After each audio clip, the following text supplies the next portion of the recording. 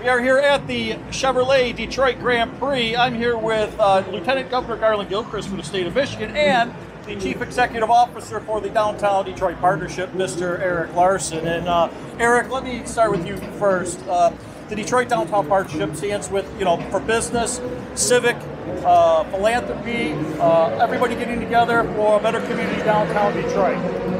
Absolutely. I mean, the Downtown Detroit Partnership is the steward of downtown in many ways. Very much like this race is, a, is the engine for automotive, the downtown is the engine for the state. And we can't do this without all of these partners and without events like this. And the thing that's so interesting about this weekend is it's a big coming out party for the state of Michigan. Obviously, the lieutenant governor and I have been having have had big bright smiles the entire weekend. And it started Thursday for us because we started by raising some really important dollars for Belle Isle, which is a community asset. And it demonstrates the importance of the way that this community works together. And it's not just in Detroit, it's throughout the state.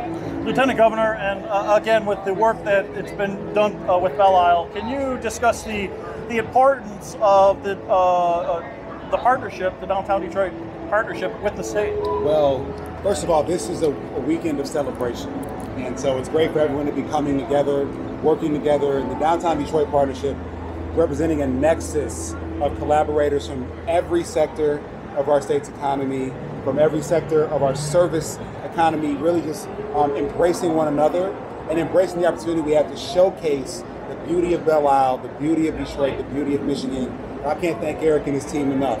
Um, this is this is what we're all about. We work together, we can do more, we can accomplish more, we can go farther. And uh, Eric, can you discuss a little bit about maybe the uh, current projects that you have coming up after the Grand Prix?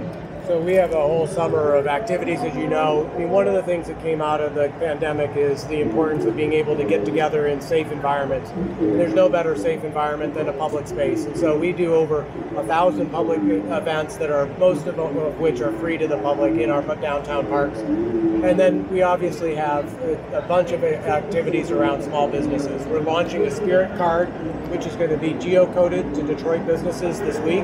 That will be allowed, you know, both employers and employees as they return to the city to be able to, you know, be, you know, to infuse some really important economic um, activity back into the community.